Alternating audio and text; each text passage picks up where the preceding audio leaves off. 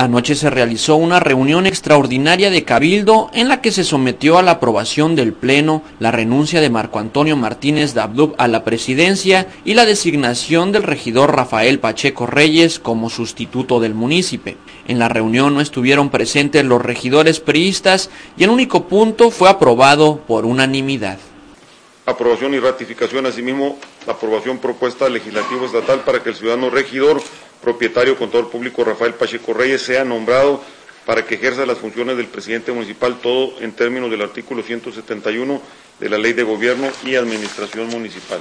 De no haberlo, solicito a los regidores que quienes estén de acuerdo en aceptar el punto que incluye la renuncia y la designación del nuevo presidente municipal se sirvan levantar la mano en señal de aprobación.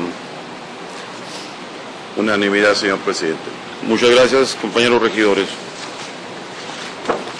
Una vez terminada la sesión, Marco Antonio Martínez Dabdub dio a conocer sus impresiones después del vaivén de declaraciones, además de las negociaciones que se tuvieron que dar para lograr la aprobación de su salida.